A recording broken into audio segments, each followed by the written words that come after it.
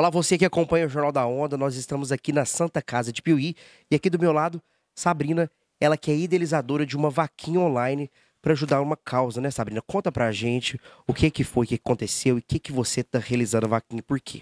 Então, neste domingo, né, dia 21, é, o Júlio, né, mais conhecido como Sabonete, sofreu um acidente, né? É, um carro bateu nele, né? É, o carro entrou na contramão e atingiu ele. E infelizmente ele veio a amputar abaixo do joelho, né? E todo o tratamento, né, com a reabilitação e a prótese gira em torno de 40 mil reais. E a família, infelizmente, não tem como marcar com isso tudo. Então eu resolvi fazer a vaquinha, né, na intenção de sensibilizar a população e da gente conseguir arrecadar esse valor.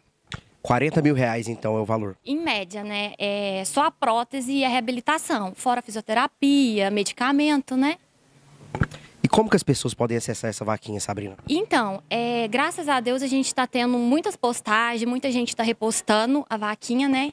Ela tem um link e também tem um Pix. E a gente também criou, é, contando um pouquinho da história do acidente com a foto dele.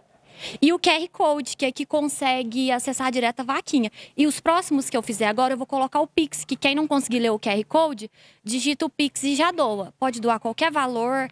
Se não tiver Pix também, pode entrar em contato pelo meu Instagram ou por telefone, que a gente está buscando, né? Certo, então esses aqui você vai espalhar pela cidade, alguns pontos. A gente já espalhou vários. Se alguém também que tiver um comércio, né? Um comerciante é, quiser deixar, entrar em contato, deixar a gente deixar um lá, pode entrar em contato que a gente deixa um lá com o maior prazer. Certo, e você tem sabe nos falar o link para aqueles que nos acompanham pelo rádio, FM? Você sabe falar o link da vaquinha?